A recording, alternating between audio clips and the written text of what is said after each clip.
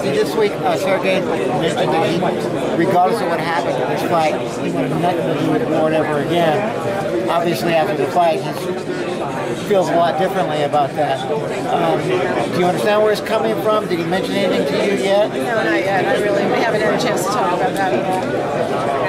I, can't imagine that that fight could even be made, so I'm not going to think about it. Um, but, but uh, you know, my guess is Andre Ward. I mean, he's already talking about moving out of the division. I hope he goes. I just hope he goes away because I really just can't. It's embarrassing in this sport when you have a guy who is supposedly the best pound for pound fighter in the world and he can't win a fight without cheating.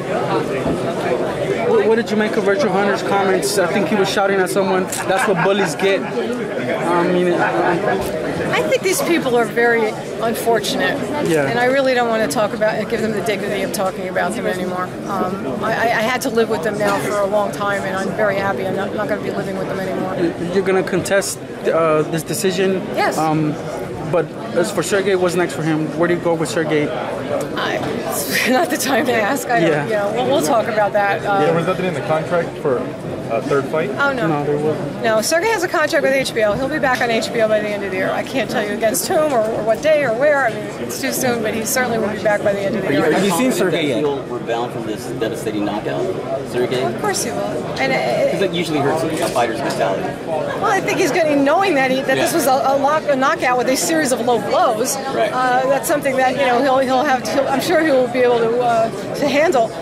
Again, it's just it's inconceivable to me. I mean, I, when we were here for Vargas Trinidad, you saw Trinidad get away with low blows that were not, uh, you know, that were not, he was not penalized for, and and at least. You know, that, that wasn't how the fight ended. I've never seen a guy hit low repeatedly one, two, three times and they stopped the fight. My God. Are you ever going to see a fight that's not ending in controversy? Apparently not here. Deval, how do you cope with the loss? Excuse me? How do you cope with the loss? You get pissed off. you go through the stages of grief and then you move on. That's how it works. Have you gone but we that? are going to make a protest, and we are not going to just you know lay down. But I, I acknowledge that uh, it's hard to win one like this because the commission would have to admit their error, and it's very hard to get them to do things like that.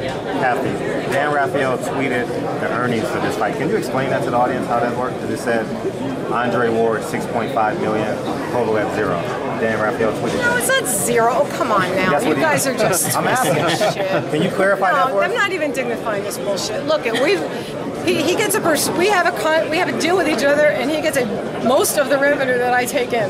He'll get it. He'll get plenty. It's in seven figures. Don't worry. He's not gonna. You don't have to hold a benefit for him. But that that stuff's that's just bullshit. You will know it.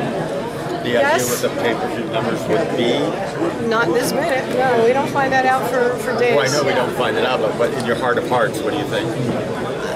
Look, when this fight was planned, we, we, we spoke we spoke during the last week. I've read a lot of stories. People are saying, well, you know, he's up there. He's up there. Okay. Well, we Thank you, Kathy. Appreciate your time.